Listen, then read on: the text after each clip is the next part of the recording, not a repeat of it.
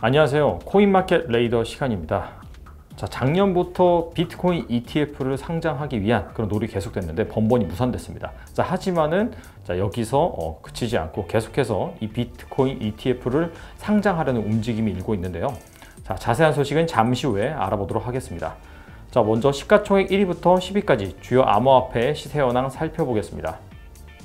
자, 보시다시피 어, 소폭 상승 흐름을 나타내고 있습니다. 자 그렇다면 이 비트코인 차트를 통해서 현재 한번 시장 진단을 해보겠습니다. 자 비트코인 1시간 봉 차트입니다. 자 5월 초부터 하락세가 시작됐었죠. 자 그래서 거의 만 달러까지 갔었다가 자 보시다시피 7천 달러 선까지 하락을 했었습니다. 자 하지만은 5월 말 정도에 보시다시피 이렇게 추세 전환이 나왔고 자 이후로는 어, 소폭 계속해서 이 반등 흐름을 추세적으로 이어나가고 있는 그런 상황입니다. 자 참고로 이 추세 전환의 움직임이 어, 신뢰성이 있는 이유는 뭐냐면은 자 보시다시피 추세 전환 당시에 거래량이 상당히 많이 터졌습니다. 자 그리고 나서 지금 계속해서 이 상승 추세를 이탈하지 않고 지금 이어가고 있습니다. 현재 한 7,700달러, 7,800달러 선에서 지금 저항이 나타나고 있는데 자 오늘 시세 흐름 좋습니다. 자 여기서 만약에 이 저항을 돌파한다라고 한다면은 자 예전의 지지선이었던 이 8,000달러 선까지는 어, 트라이가 가능하지 않을까 생각해 봅니다. 네, 첫 번째 소식 알아보겠습니다. 자, 미국의 두 개 기업이 자, SEC에 미국 증권위원회죠. 여기에 ETF를 또 상장한다고 이렇게 신청을 했습니다. 자, 번번이 실패됐었는데 자, 계속해서 이러한 시도가 이어지고 있습니다. 특히나 이 두 회사 같은 경우에는 어, 비트코인 실물을 보유하고 있다라는 점을 강조를 했습니다.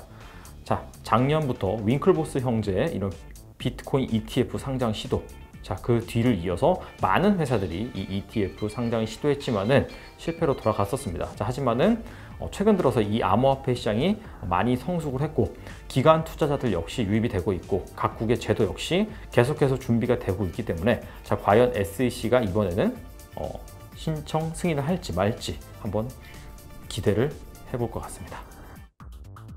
네, 두 번째 소식 알아보도록 하겠습니다.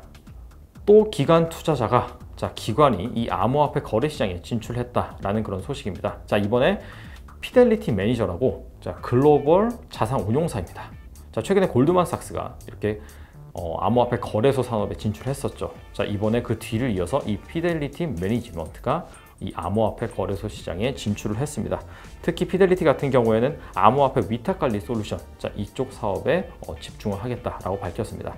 자, 거대 기관들이 계속해서 이 암호화폐 거래 시장에 들어온 것 자체가 이 암호화폐 시장의 미래가 밝다라는 것을 의미하는 것 같습니다. 네, 마지막 소식 알아보도록 하겠습니다. 자, 미국의 어, 선물거래위원회죠. CFTC 감독원이 자, 비트코인은 즉 암호화폐는 영영 사라지지 않을 것이다. 자, 이렇게 밝혔습니다.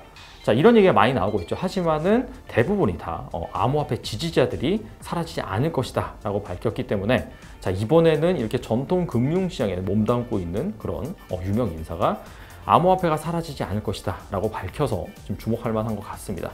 자, 특히 그는 블록체인, 즉 암호화폐 이런 산업이 의료와 취업 이런 부분에서 특히나 영향력을 발휘할 것이다. 라고 밝혔고요.